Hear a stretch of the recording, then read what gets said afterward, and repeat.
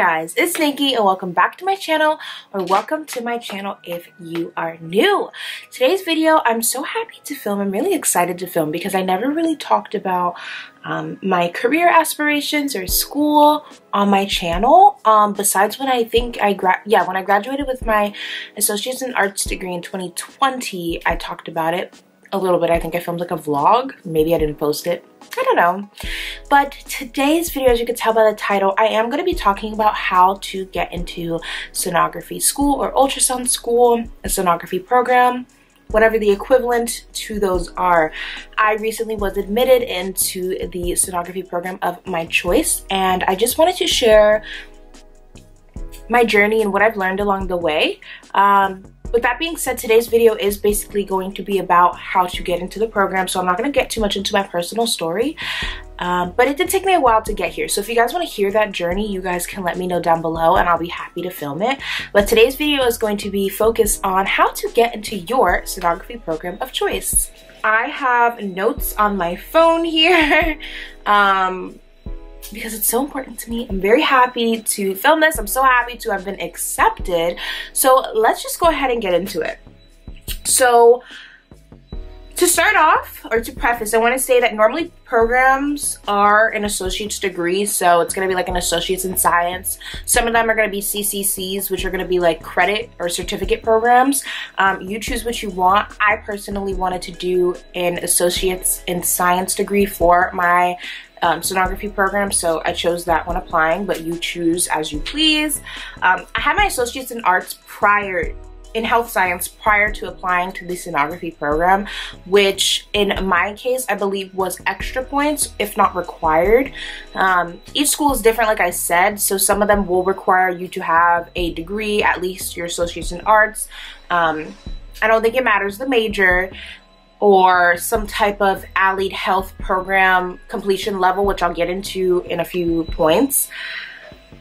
You have extra points for having a degree prior to applying applying to your program. So it's always good to, before you apply, kind of check out the prerequisites. That's one of my points, but to check out the prerequisites and what they want you to have prior to applying. But I'm getting ahead of myself. This is like my little, my little intro summary.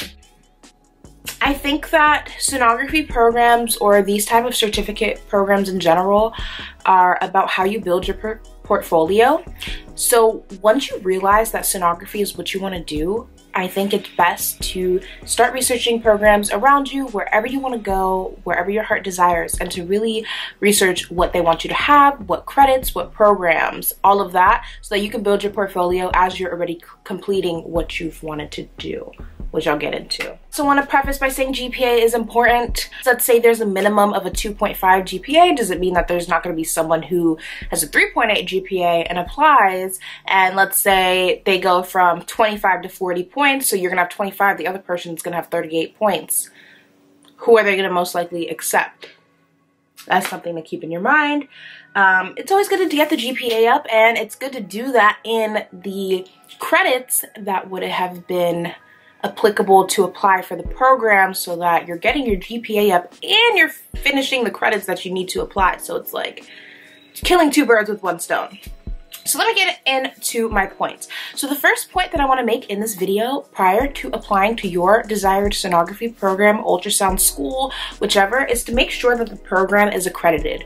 Accreditation is defined as the recognition from an accrediting agency that an institution maintains a certain level of educational standards.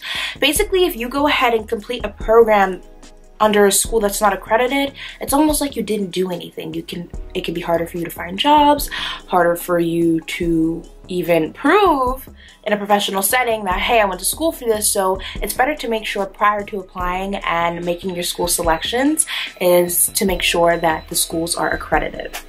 Number two, prerequisites, like I was saying. So the main two prerequisites that I want to talk about that I think are going to be important to any sonography program is going to be anatomy and physiology 1 and 2 and also physics. So personally I took applied physics. I did that what last summer.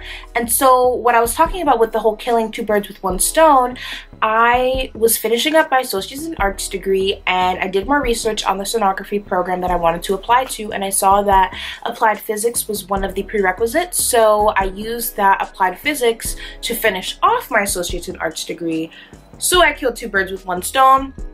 You do it however you want, but it's always good to kind of, you know, figure it out beforehand so that you can kind of, you know, do it that way, like a double whammy. Like I was like, all right, you know, I'm finishing up my degree. I need one more credit um, in electives and sonography needs applied physics. That's mainly what your electives are for um, when you're doing your associate's degree at a community college or anywhere. Um, they're mainly for the prerequisites for your desired program that you're going to apply to afterwards. So always keep that in mind and make sure that you're making those decisions wisely. Um, another one that was required for me was biology lecture and lab. Now, let's have a moment of truth. This isn't my video about how I what my journey was to sonography. And if you guys want to see that video you can let me know because it was a long journey. Not everything is graduating high school boom i want to do sonography. That didn't happen. That's not always what's gonna happen and that's okay. So if you guys want to hear my journey of how I knew I wanted to be a sonographer and applied to ultrasound school, you let me know. But, so, I thought that I had everything planned out. I had completed one more thing prior to this was I'll speak in another um, bullet point and then I was like oh my god I need biology so let me tell you this past summer yes summer 2021 I took biology lecture and lab six weeks six weeks okay six weeks. Biology is one of my weakest subjects.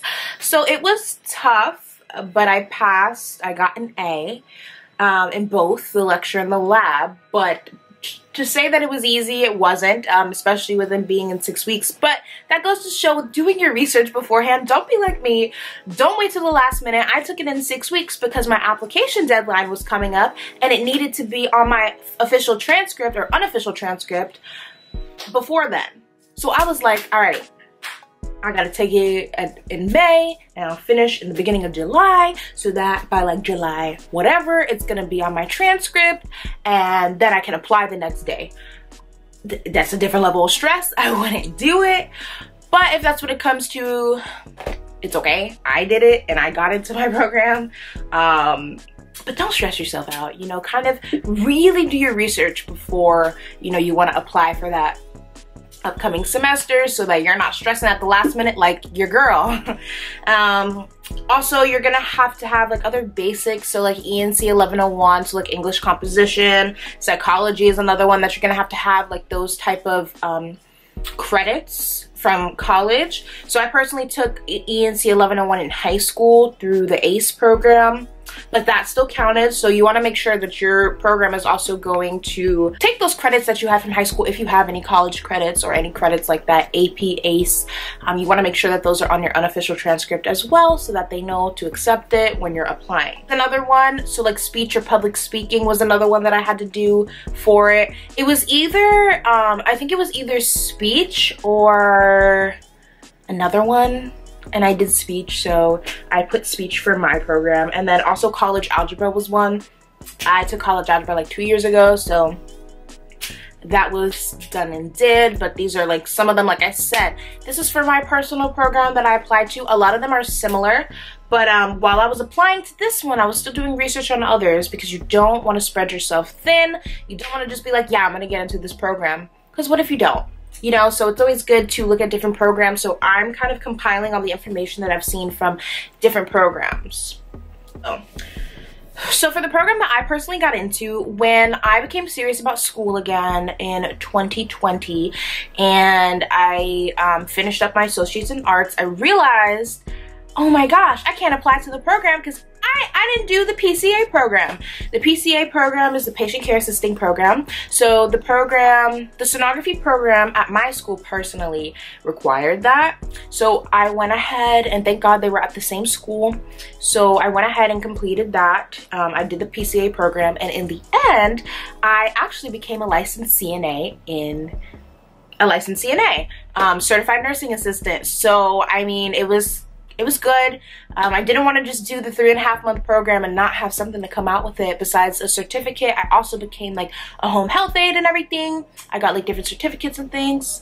So I can also do a video on that, um, how I became a CNA because, you know, that was something that I didn't plan on doing. Literally, I found out and I was like, okay, I have to apply to this program. And then I became a state licensed CNA. So, I mean, I got a lot of info for you guys.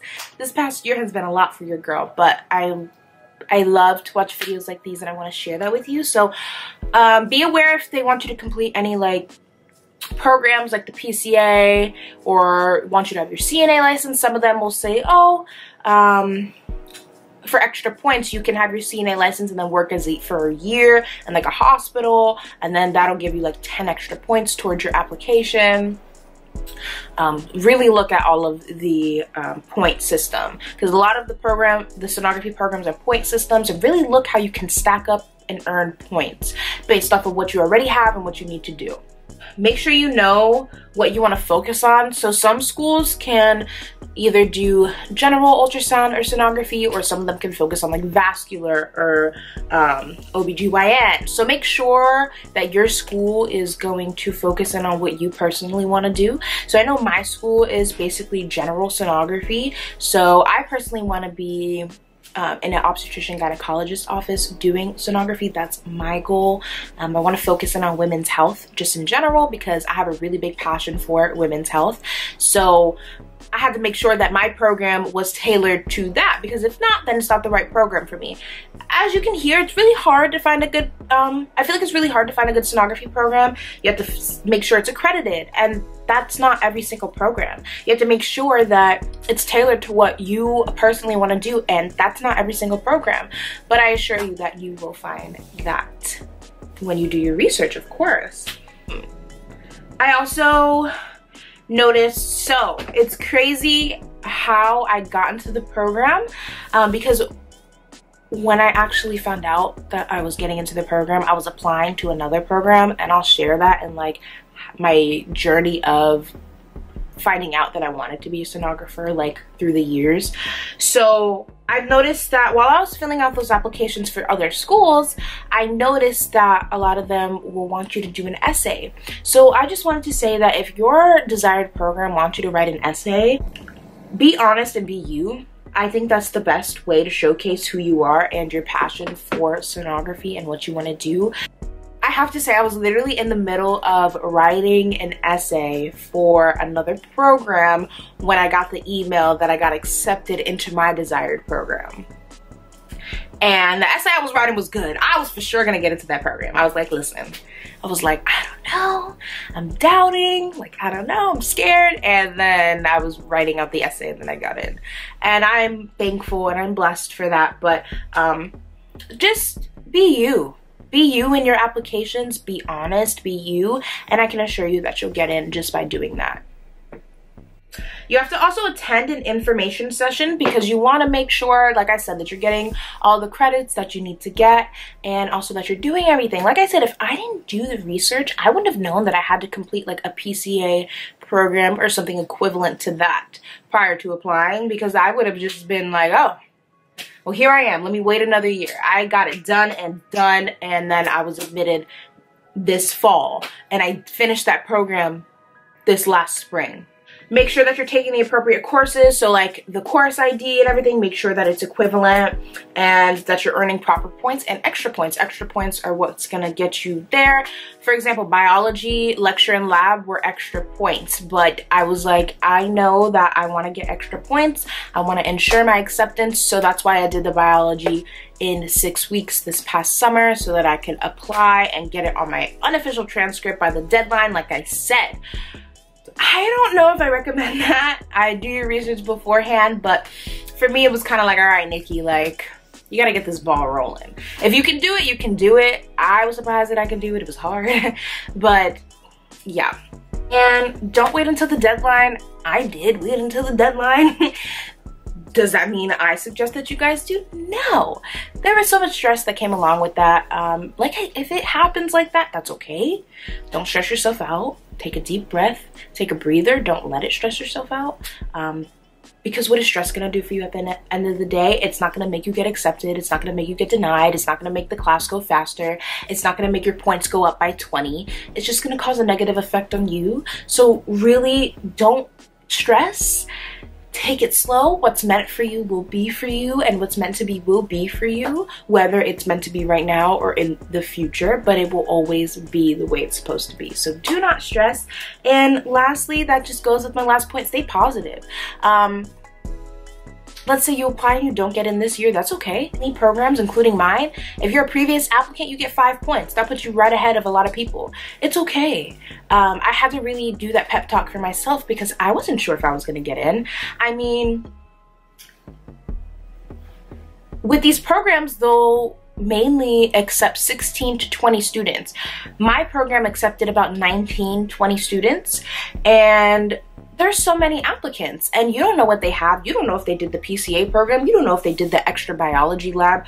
You don't know if they worked previously or were previously a registered radiologist and got extra points but. You don't know. So, you know, stay positive and don't let that get you down like I said, there's other programs, but also you get five extra points next year if you, or however many extra points next year if you apply again, and boom, you're in. Like I said, it all goes also with your timing. If it's not the right time, and you may be disappointed about it, but you're gonna realize why it didn't happen in that moment. So it's all about being positive and being you and being confident in yourself and in your application.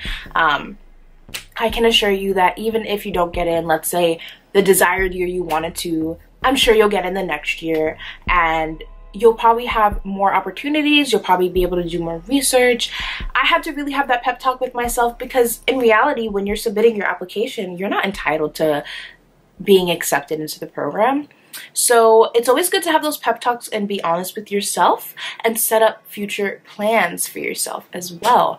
Um, I was like, okay, you know what? If I don't get in, then I can, I had like three different pathways. I'm like, all right, maybe I can take the HESI and uh, apply for nursing school, go back to what I originally wanted to do. Um, or I could work as a CNA for a year, kind of stack up, save money, then boom, extra points. Plus I worked, so that could be extra points too. Really set up backup plans for yourself so that you always have a plan. Don't let yourself get in a rut. It's okay. And I can assure you guys you guys are gonna be good. So thank you guys so much for watching. I hope you guys enjoyed. I'm so happy to make these videos. Like I said, I would love to make a video on how I became a CNA, how my life journey kind of ended me ended up to where I am today with like getting into sonography school and how I wanted, how I knew I wanted to become a sonographer. So you guys let me know down below if you guys want me to film those and I will definitely let you guys know that. So thank you guys so much for watching. And don't forget to like, comment down below and subscribe. And also good luck to all you aspiring sonographers, including myself, because I have not started the program yet and I know it is going to be difficult, but I have the passion and the drive, so I know I'll be fine. But thank you guys so much for watching and I will see you guys in the next one. Bye!